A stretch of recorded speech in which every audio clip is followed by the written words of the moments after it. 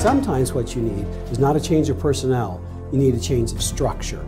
The founders understood the importance of structure and they gave the power to the states to create a new set of rules. When the federal government overstepped its boundaries, we could recalibrate the rules to take power away from Washington, D.C. and give it back to the people and to the states.